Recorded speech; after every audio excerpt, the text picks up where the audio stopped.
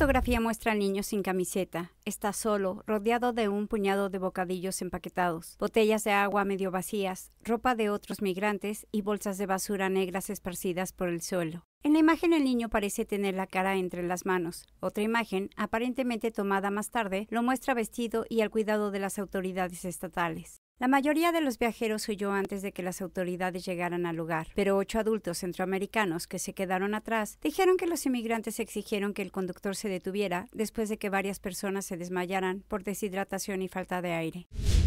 Estamos siendo censurados. Ahora, hay temas que no podemos reportar libremente en YouTube.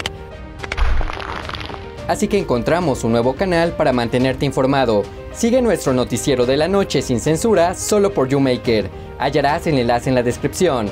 Gracias por tu apoyo y juntos hagamos que la verdad salga a la luz.